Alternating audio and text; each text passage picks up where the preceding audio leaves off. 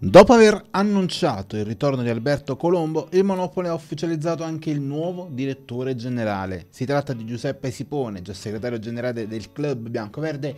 Dal 2019 ad oggi, laureato in scienze motorie, può vantare una carriera ormai decennale in società professionistica con esperienza sia da direttore generale che da segretario generale.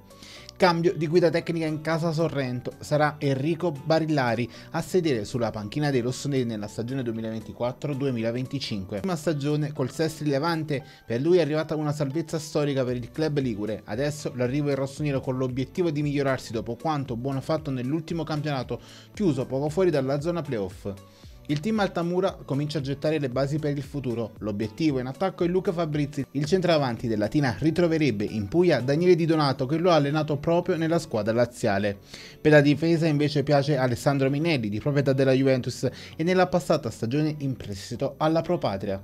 Dopo aver concluso la stagione alla guida del Monopoli, culminata con una sofferta salvezza, ai playout Roberto Taurino ha deciso di chiudere la sua esperienza in Puglia.